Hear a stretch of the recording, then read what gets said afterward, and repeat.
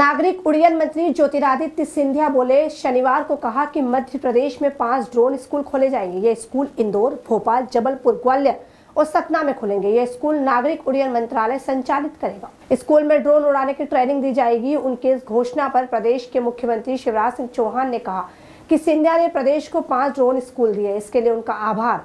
हम संकल्प लेते हैं कि एमपी को ड्रोन टेक्नोलॉजी में अग्रणी बनाएँगे।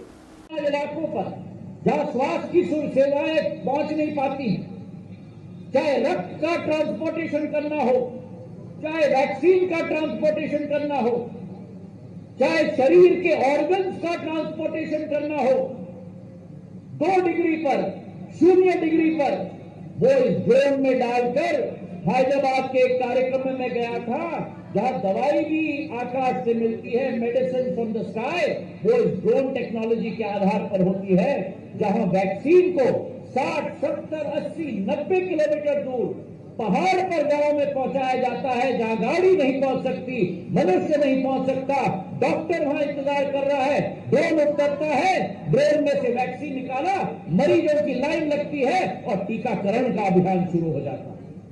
ने हर एक क्षेत्र में ये ड्रोन टेक्नोलॉजी इस्तेमाल करने की कोशिश की है।